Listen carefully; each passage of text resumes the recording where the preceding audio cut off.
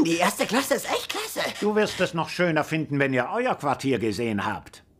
Anscheinend sind wir auf dem Fiesta-Deck. Erste Klasse, zweite Klasse.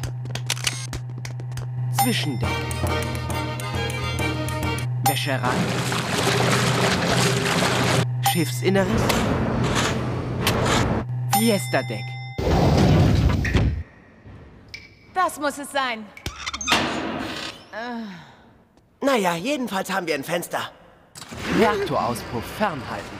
Tja, ich kann diese Kabine nicht ausstehen und alle, die hier sind. Wenn ihr mich entschuldigt, ich mache einen Ausflug rüber ins Casino für die nächsten 135 Stunden. Und ich werde am Buffet eine Fischsuppe reinlöffeln. Hat ganz den Anschein, als wärst du jetzt mit deinem angeblichen Verlobten ganz allein auf einer romantischen Kreuzfahrt. Nimm den Arm da weg oder ich breche ihn dir ab. Okay. Captain auf Inspektionsgang.